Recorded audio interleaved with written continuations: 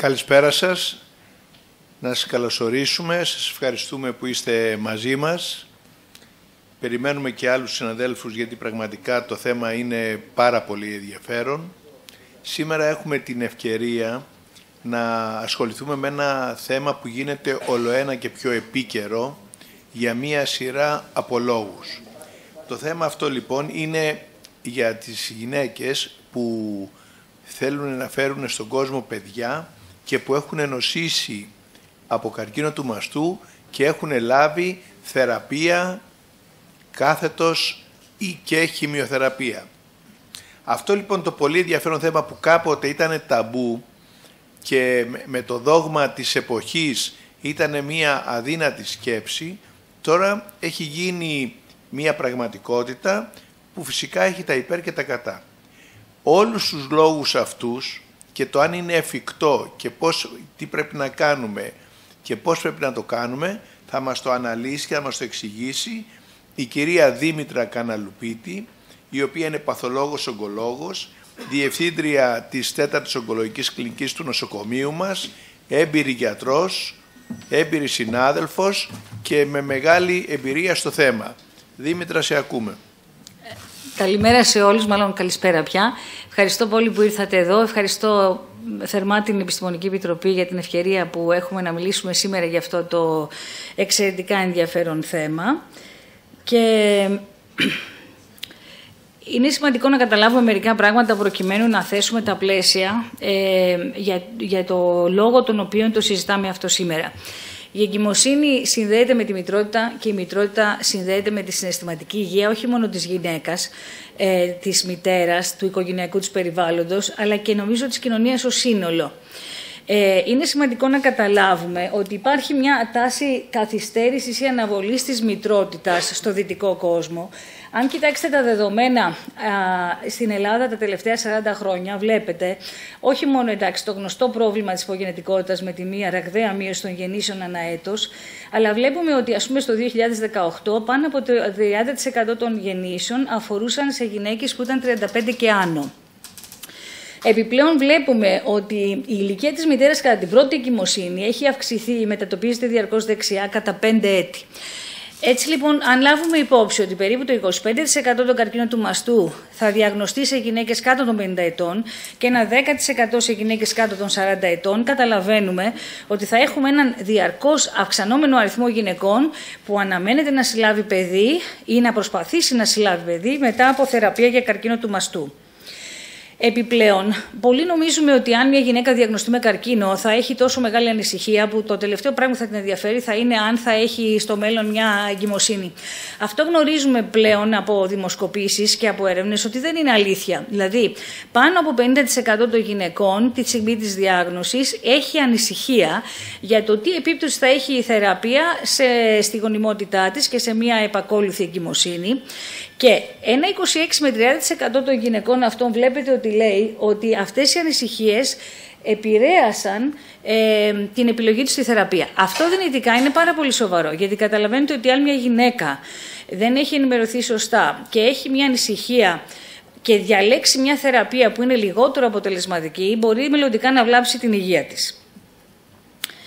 Επιπλέον, αν και πάνω από 50% των γυναικών ε, έχουν ανησυχία για το αν θα έχουν μια επικείμενη απεκόλουθη εγκυμοσύνη, τελικά μόνο ένα 5 με 10% των γυναικών θα, έχει, θα προχωρήσει σε εγκυμοσύνη. Βλέπετε ότι χαρακτηριστικά από όλα τα είδη των καρκίνων, οι γυναίκες με καρκίνο του μαστού έρχονται δεύτερες από το τέλος, μετά από τις γυναίκες με καρκίνο τραχύλου της μήτρας, σε μια επακόλουθη εγκυμοσύνη.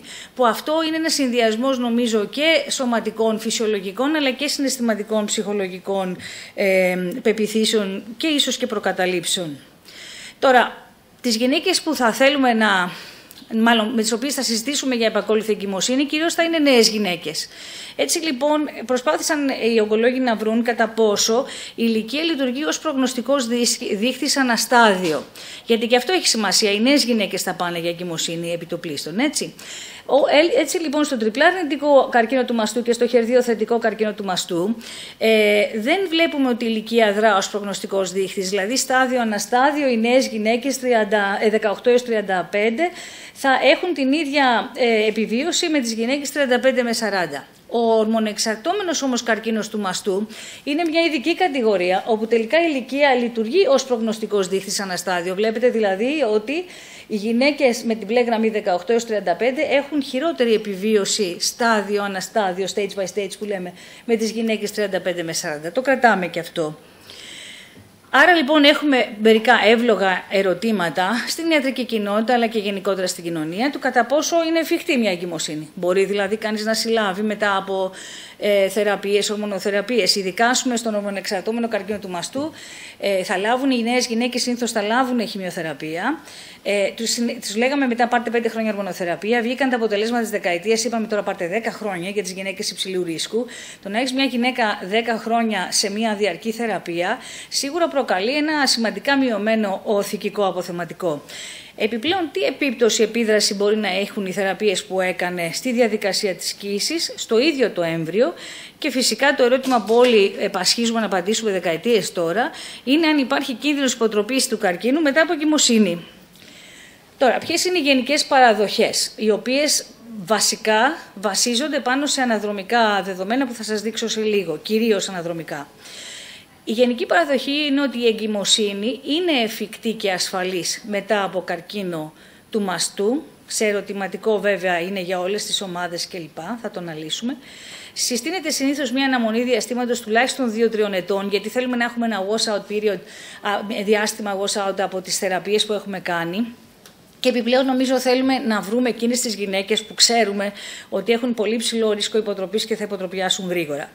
Στη συνέχεια ε, συστήνουμε διακοπή της θαμοξυφαίνης τουλάχιστον για τρεις μήνες, ε, αν και στο package insert λέει εννέα, αλλά τρεις μήνες έχουμε αποδείξει ότι είναι ασφαλής για την προσπάθεια σύλληψης, 7 μήνες τουλάχιστον από την αντιχερδιοθεραπεία με τραστούζουμαμπ, και μένει να δούμε ποιες γυναίκες όμως μπορούμε, σε ποιες γυναίκες μπορούμε να το συστήσουμε. Ισχύει για όλες τις υπομάδες ασθενών. Ανεξαρτήτως από προηγούμενες θεραπείες που έχουν λάβει. Και σκεφτείτε ότι όλα τα αναδρομικά δεδομένα που θα αναλύσουμε σε λίγο έχουν να κάνουν με χημειοθεραπεία. Τώρα όμως στι νέες γυναίκες δίνουμε ως επικορική θεραπεία ανοσοθεραπεία. Πάρπα αναστολής, δίνουμε ε, CDK αναστολής. Οπότε όλα αυτά παίζουν ρόλο. Ε, ε, και επιπλέον δεν έχουμε ε, μάλλον θέλουμε δεδομένα σε ασθενείς που φέρουν παθογόνες μεταλλάξεις, για παράδειγμα BRCA ε, μεταλλάξεις. Τώρα, τι εμείς σαν ιατρική κοινότητα, τι πιστεύουμε και τι νομίζουμε. Έχει σημασία και κάποιοι το είδαν και το ανακοίνωσαν πέρυσι στο Παγκόσμιο Συνέδριο του Μαστού, όπου ερώτησαν συναδέλφους μας κατά πόσο η χημιο... μια εγκυμοσύνη μετά από καρκίνο του μαστού θα μπορούσε να αυξήσει τον κίνδυνο της υποτροπής. Και παρά το ότι τα αναδρομικά δεδομένα λένε το αντίθετο, η ιατρική κοινότητα κατά 55% απάντησε ότι σε ασθενείς που φέρουν ενταλλάξει στο BSA συμφωνούν ότι με αυτή τη δήλωση. Το ερώτημα λοιπόν είναι, και θα πρέπει να το δούμε διεξοδικά και τις επόμενες ε, επόμενα, τα επόμενα χρόνια που έρχονται, αν αυτό που πιστεύουμε είναι γνώμη ή είναι γνώση. Και αυτό έχει πολύ μεγάλη σημασία. Πάμε λοιπόν να δούμε λίγο τα αναδρομικά δεδομένα. Έτσι. Ε, στο σύνολό τους, τα αναδρομικά δεδομένα συνδέουν τον κίνδυνο υποτροπής της νόσου μετά από, από καρκίνο του, με μια εγκυμοσύνη μετά από καρκίνο του μαστού με τον χρονισμό της εγκυμοσύνης. Ο κίνδυνος της θνητότητας μειώνεται σημαντικά όσο μεγαλώνει το διάστημα μεταξύ διάγνωσης και επακόλουθης εγκυμοσύνης. Βλέπετε ότι έχουμε στοιχεία και νωρίτερα είχαμε από το 1998, αλλά πιο οργανωμένα το 2003 και το 2010. Όμως όσοι ασχολούνται με το θέμα αυτό συνεχώς αναφέρονται ε, ε, σε αυτήν τη μελέτη που είναι μια μετανάλυση του Αζίμ και της ομάδας του, οι οποίοι καθαρά έδειξαν ότι αν αφήσουμε δύο χρόνια να παρέλθουν, η συνολική θνησιμότητα έχει ένα relative risk 0,55-0,59 στα επικαιροποιημένα αποτελέσματα, ένα πολύ ασφαλές αποτέλεσμα αναδρομικό. Θέλω να το κρατήσετε γιατί αυτό το 0,59 για πρώτη φορά εμφανίστηκε το 2011 και θα το αντιπαραβάλουμε με τα προοπτικά δεδομένα ε, τις μεγαλύτερες περισσότερες πληροφορίες για την μακροπρόθεσμη ασφάλεια μιας εγκυμοσύνης μετά από καρκίνο του μαστού έχουμε από αυτήν τη μελέτη, μια πολυκεντρική μελέτη, αναδρομική μελέτη φυσικά, του Λαμπερτίνη που θεωρείται και αυτός ε, πατέρα στον τομέα της έρευνας ε, ε, στο πλαίσιο που διερευνούμε σήμερα. Η μελέτη αυτή είχε ε, πολύ μεγάλο αριθμό ασθενών, 1.200 ασθενείς, αντιπαρέβαλε ε, ένα προς τρία τις γυναίκες που επέτυχαν εγκυμοσύνη με, αυτές, με τις μη εγκυμονούσες. Είχε μια μεγάλη παρακολούθηση γύρω στα 10 έτη που ακριβώς αυτό θέλουμε, γιατί πρακτικά ξέρουμε ότι ειδικά ορμονοεξαρτώμενος καρκίνος του μαστού θα υποτροπιάσει πολύ αργότερα. 80% ε, ένας μεγάλος αριθμός έλαβε χημειοθεραπεία, 55 περίπου ε, μπόρεσαν και ολοκλήρωσαν μία εγκυμοσύνη και βλέπουμε το ίδιο DFS, δηλαδή την επιβίωση ελεύθερη πρόοδου νόσου και συνολική επιβίωση ε, και, στις δύο, και στις εγκυμονούσες και μη εγκυμονούσες γυναίκες είτε είχαν ορμονοεξαρτώμενη νόσο είτε είχαν ορμοαρνητική νόσο και βλέπετε μάλιστα μην πούμε ότι εδώ μάλιστα υπάρχει και μια στατιστικά βελτιωμένη συνολική επιβίωση στις γυναίκες που είχαν ε, επιτύχει μια εγκυμοσύνη, θέτοντας το ερώτημα κατά πόσο μπορεί στην ορμονοανθεκτική νόσο μια εγκυμοσύνη να, αποφέρει και ένα, να έχει και ένα προστατευτικό αντίκτυπο. Ό,τι πιο καινούριο, ε, μου κάθισε πολύ ωραία, ε, δημοσιεύθηκε τώρα το Δεκέμβριο στο ESMO Open.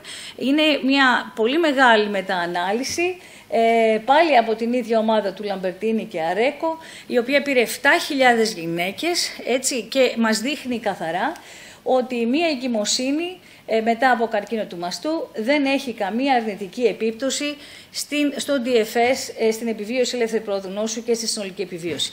Το σημαντικό με αυτή τη μετανάλυση εδώ είναι ότι η, η μέση παρακολούθηση έφτανε τα 16, τα 16 σχεδόν χρόνια. Άρα θεωρούμε ότι έχουμε πιάσει σχεδόν όλες τις γυναίκες που θα, θα, ε, έχουν, θα υποτροπιάσουν καθυστερημένα.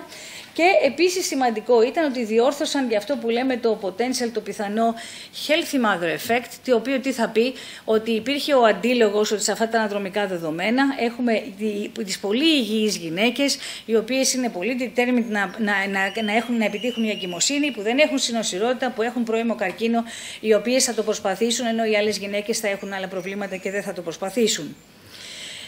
Οι μελέτες όμως έδειξαν ότι έχουμε και κάποιες, ας το πούμε, ανεπιθύμητες ε, παρενέργειες σε υψηλότερο ποσοστό ε, στην, ε, στην, ε, στα νεογνά και συγκεκριμένα έχουμε τρία πράγματα. Η λιποβαρή, μεγαλύτερο ποσοστό λιποβαρών νεογνών, υψηλότερο ποσοστό πρόωρων τοκετών και μικρότερο ρυθμό ανάπτυξης στο αναστάδιο κύσης, αυτό που λέμε το small for gestational age. Και εδώ όμως αποδείχθηκε ότι ο χρονισμός της εγκυμοσύνης μετά από ένα καρκίνο του μαστού παίζει μεγάλο ρόλο. Γιατί βλέπετε ότι αν παρέλθει λιγότερο από ένα έτος όπου κάποιος θα προσπαθήσει να επιτύχει εγκυμοσύνη μετά από καρκίνο του μαστού, έχει μεγαλύτερο σχετικό ρίσκο, αλλά αν περιμένει πάνω από δύο χρόνια, βλέπετε το ρίσκο πέφτει από 2,4 στο 0,8, 2,9 στο 1, 3,3 στο 1 και ούτω καθεξής.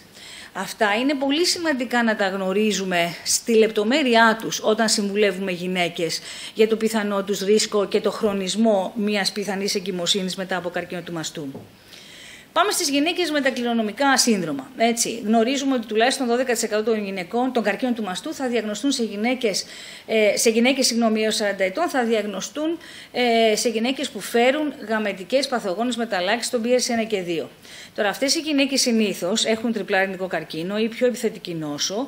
Το πλήθος αυτών θα λάβει χημειοθεραπεία. Άρα, ήδη έχουν ένα μειωμένο θηκικό ε, αποθεματικό και γονιμότητα.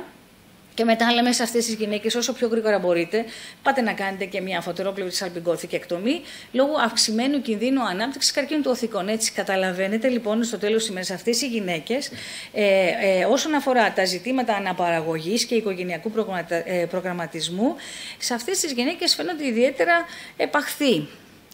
Και εδώ όμως έχουμε στοιχεία πάλι από την ίδια φοβερή ομάδα του Λαμπερτίνη, όπου πήρε ε, ε, μια πολυκεντρική διεθνή αναδρομική μελέτη, πήρε γυναίκες κάτω των 40 ετών, βλέπετε, με καρκίνο του μαστού 1 έως 3, ε, με BRCA 1 και 2 μεταλλάξεις. Όπως σας είπα, το πλήθος των γυναικών αυτών παίρνει χημειοθεραπεία, 95% έλαβαν χημειοθεραπεία. Και επίσης και εδώ βλέπουμε με μια μέση παρακολούθηση 8,5 έτη που επίσης είναι μια καλή παρακολούθηση για να δει κανείς μακροπρόθεσμες ε, υποτροπές ότι δεν υπάρχει διαφορά τόσο στο DFS όσο και στη συνολική επιβίωση μεταξύ εγγύων και μη εγγύων ε, γυναικών που είχαν νοσήσει. Επίσης, το ερώτημα τέθηκε κατά πόσο ε, η τεχνολογία υποβοηθούμενες ε, αναπαραγωγής, το αρτικόλεξο Ακτικόλεξο ARC νομίζω ταιριάζει τέλεια γιατί για μένα είναι μια τέχνη αυτό ε, είναι ασφαλής και αποτελεσματική σε αυτό τον πληθυσμό νεαρών γυναικών και πάλι και εδώ, μικρά νούμερα βέβαια, αλλά κάποιος το είδε και το μελέτησε και συνεχίζουμε να το μελετάμε. Βλέπουμε σε 200 ασθενείς, 25 χρησιμοποίησαν ε, τεχνικές ε, υποβοηθούμενες αναπαραγωγής, ε, ολοκλήρωσαν κοίηση 76% και σε μία παρακολούθηση 50 μήνων δεν υπήρχε καμία διαφορά στην έκβαση της νόσου στις δύο ομάδες και 50% των γυναικών αυτών είχαν ορμονοεξαρτώμενη νόσο. Ε, αν δεν είχε προηγηθεί το Παγκόσμιο Συνέδριο του Μαστού στο Σαν Αντώνιο πέρυσι, το 2022, κάπου εδώ θα τελειώναμε και θα είχαμε πολλά ερωτηματικά. Όμως είχα και τη χαρά και εγώ να παρευρεθώ πέρυσι στο Σαν Αντώνιο, όπου εκεί παρουσιάστηκαν τα πρώτα προοπτικά αποτελέσματα της μελέτης Positive. Η μελέτη Positive προσπαθεί να σταθμίσει τον κίνδυνο υποτροπής του καρκίνου του μαστού από προσωρινή διακοπή ορμονοθεραπείας προκειμένου να επιτευχθεί μια εγκυμοσύνη σε ασθενείς με ιστορικό ορμονοεξαρτώμενου καθαρά καρκίνου του μαστού. Και γιατί εστιάζουμε στον ομονεξαρτώμενο, ελπίζω να κρατήσατε όπου σας έδειξα ότι η ηλικία είναι προγνωστικός δείχτης στον ομονεξαρτώμενο καρκίνο του μαστού μόνος, σε αυτόν τον ιστολογικό τύπο, αλλά επιπλέον, ανεξάρτητα από αυτό και την ηλικία, βλέπετε ότι ακόμη και με, ε, χωρίς λεμφαδενική νόσο, ο κίνδυνος υποτροπής καρκίνου του μαστού στην ομονεξαρτώμενη νόσο δεν πάβει να υφίσταται ακόμη και δεκαετίες μετά το οποίο δεν ισχύει στο τριπλά αρνητικό καρκίνο ούτε στο χερδιοθετικό καρκίνο. Που σημαίνει, και αυτό θέλω να το κρατήσουμε και θα επανέλθω πολλές φορές, ότι οι γυναίκες με υψηλό ρίσκο υποτροπής θα συνεχίσουν και θα παραμένουν σε υψηλό ρίσκο υποτροπής ε, που θα ανεβαίνει όπως βλέπετε εκθετικά. Οι καμπύλες δεν μοιάζει καθόλου να πάνε να, να συγκλίνουν ή να μειωθούν. Η μελέτη διεξήχθη σε 116 κέντρα, σε 20 χώρες, συμμετείχε και η Ελλάδα. Και στην ουσία τι έκανε; Πήρε γυναίκες προεμινοπαυσιακέ κάτω από 42 ετών με ορμονοεξαρτώμενο καρκίνο, ε, στα 2, 1 έως 3. Ε, ήταν απαραίτητη προπόθεση όλες οι γυναίκες να συμπληρώσουν τουλάχιστον 18 μήνες, αλλά όχι παραπάνω από 30 μήνες επικουρικής ορμονοθεραπείας. Είχαν λάβει νέο επικουρική και επικουρική χημειοθεραπεία. Και τι γινόταν, ε, ε, από τη στιγμή που θα, ενταχθεί, που θα εντασσόταν μια γυναίκα στη μελέτη, διακόπτεται η ορμονοθεραπεία εντός ενός μηνός, επιτρέπουν ένα διάστημα δύο ετών ε, προκειμένου να επιχειρηθεί να επιτευχθεί μια εγκυμοσύνη, οικειοφορία, τοκετός και θυλασμός και φυσικά με στόχο τη γρήγορη επανέναξη ορμονοθεραπείας για να συμπληρώσουμε 5 ή 10 έτη ανάλογα με τη σταδιοποίηση και τον αρχικό σχεδιασμό. Το πρωτεύον καταλητικό σημείο ήταν το λεγόμενο breast cancer free interval, το οποίο εγώ το ε, ε, μετέφρασα σαν διάστημα ελεύθερο υποτροπής καρκίνου του μαστού, ενώ δευτερεύοντα καταληκτικά σημεία θέλαμε να δούμε ε, τα αποτελέσματα σε σχέση με την εγκυμοσύνη, ε, τους απογόνους, το θυλασμό, τη χρήση των μέσων υποβοηθούμενης αναπαραγωγής, τη συμμόρφωσης στην ορμονοθεραπεία ε, μετά, που για μένα είναι ένα πολύ σημαντικό πράγμα, μια γυναίκα βγει θα ξαναμπεί στην ορμονοθεραπεία μετά, και το διάστημα ελεύθερο απομακρυσμένο μεταστάσεων. Εδώ, επίσης, επειδή είναι πολύ σημαντικό κανείς να βλέπει τις μελέτες και να ξέρει τον πληθυσμό, για να καταλαβαίνει πάλι πώς θα συμβουλέψει τις γυναίκες του, μπορεί να λέει ότι είχε στάδιο 1 έως 3, αλλά κοιτάξτε, 94% των γυναικών είχε στάδιο 2 και ένα 66% των γυναικών δεν είχε λεμφαδενική νόσο. Έτσι. Οπότε είναι σημαντικό να ξέρουμε τους πληθυσμούς που μελετώνται, γιατί δεν μεταφράζονται όλα τα αποτελέσματα σε όλες τις ομάδες ασθενών. Υπήρχε μια μέση παρακολούθηση 41 μηνών και ως ομάδα ελέγχου χρειάζονταν γυναίκες που θα πληρούσαν τα κριτήρια ένταξης στην positive, οι οποίες δεν είχαν μείνει έγκυες και τι έκαναν, επειδή για όσους γνωρίζετε, ε, έχουμε τις μελέτες soft και text, οι οποίες είχαν χρησιμοποιήσει χιλιάδες γυναίκες για να παρακολουθήσουμε ε, το όφελος των διαφορετικών ειδών ορμονοθεραπείας. Πήραμε από αυτές τις γυναίκες σαν ομάδα ελέγχου ε, που θα πληρούσαν τα κριτήρια για να μπουν στην positive. Και βλέπουμε εδώ ότι 44 γυναίκες είχαν ένα σύμβαμα υποτροπής νόσου, το pre-specified threshold ήταν 46 events, οπότε ε, είχαμε μεν 44 events, ήταν κάτω όμως, οπότε η μελέτη θεωρείται θετική και όντως στην τριετία φαίνεται ότι η υποτροπή της νόσου, το, δηλαδή η αθρηστική επίπτωση, δεν έχει διαφορά μεταξύ της ομάδας που ε, είχε προσωρινά διακόψει από την ομάδα η οποία δεν διέκοψε ποτέ.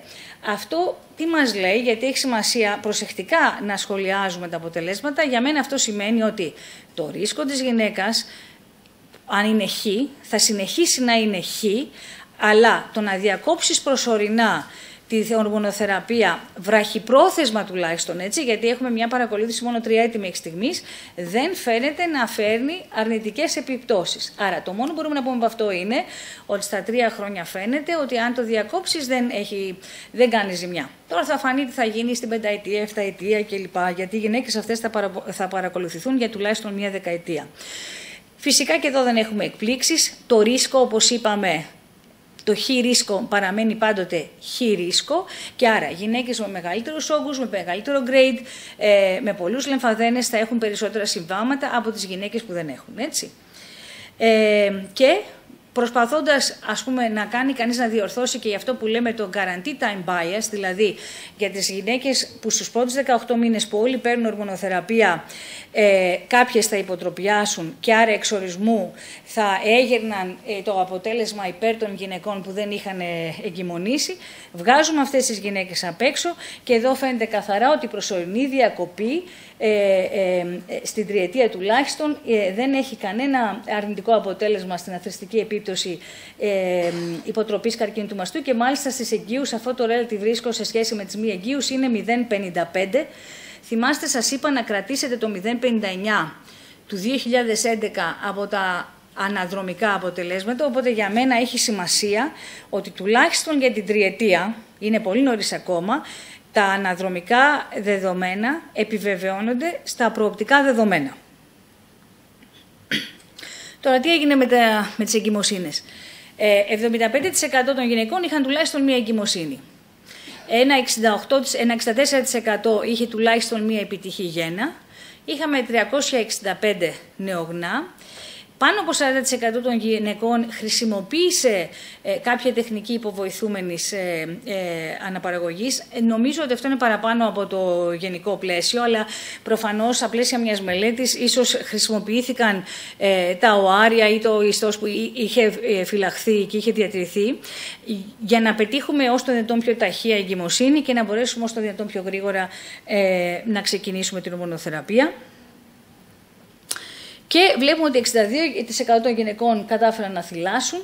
Όσον αφορά τα μωράκια, είχαμε ένα 8% που είχαν χαμηλό βάρος, θυμάστε είπαμε ότι αυτό μπορεί να είναι μια παρενέργεια, και γενετικές ανομαλίες στο 2% που αυτό αντιπαραβάλλεται με το γενικό πληθυσμό και δεν απέχει ιδιαίτερα, οπότε δεν θεωρείται ότι σχετίζεται με προηγούμενες θεραπείες που είχαν λάβει οι ασθενείς. Αυτό που επίσης μας ενδιαφέρει είναι ότι 8% των γυναικών είχαν κάποια υποτροπή θάνατο πριν να ξαναξεκινήσουν ορμονοθεραπεία, 76% ξαναξεκίνησε και ένα 15% δεν είχε ακόμη ξεκινήσει στο cut-off που ε, έγινε η πρώτη ανάλυση, στο οποίο 15 βέβαια περιλαμβάνονται και γυναίκες που επρόκειτο να ξεκινήσουν, αλλά ακόμα ήταν στο διάστημα των δύο ετών που περιμένουν μέχρι να, να ολοκληρώσουν, ας πούμε, για παράδειγμα, το θυλασμό. Ακόμη και αν το 15 βέβαια έμεινε έτσι, θέλω να σας πω ότι ένα 20% των νεαρών γυναικών, ακόμη και στις μελέτες με, με τους χιλιάδες ασθενείς που είπαμε στη soft και την text, ε, ένα 20% δεν θα ολοκληρώσει όλη την προτινόμενη θεραπεία και θα διακόψει νωρίτερα. Συμπερασματικά λοιπόν, ε, με τα προοπτικά δεδομένα φαίνεται ότι η προσωρινή διακοπή της ορμονοθεραπείας για να επιτύχουμε, επιχειρήσουμε μια εγκυμοσύνη δεν φαίνεται να επηρεάζει βραχυπρόθεσμα, ξαναλέω, τα αποτελέσματα της νόσου. Ε, μια εγκυμοσύνη είναι εφικτή, το αποδείξαμε, αλλά 75% των γυναικών πέτυχαν τουλάχιστον μια εγκυμοσύνη. Όπως είπαμε, δεν μοιάζει να βλάπτει ιδιαίτερα τα, ε, το έμβριο ή τα νεογνά. Οι γενετικές ανομαλίες αποδίδονται ως μη σχετιζόμενες ε, άμεσα με την έκθεση θεραπεία γιατί αντιπαραβάλλονται με το γενικό πληθυσμό.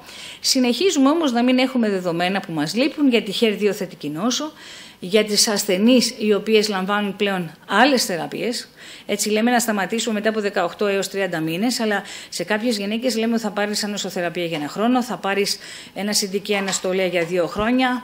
Αν τώρα η μελέτη με το ριμπόσικλ ε, που βγαίνει ήδη θετική ε, είναι τρία χρόνια, οπότε καταλαβαίνετε ότι λίγο το πράγμα ε, μπλέκει ως προς τη συμβουλευτική.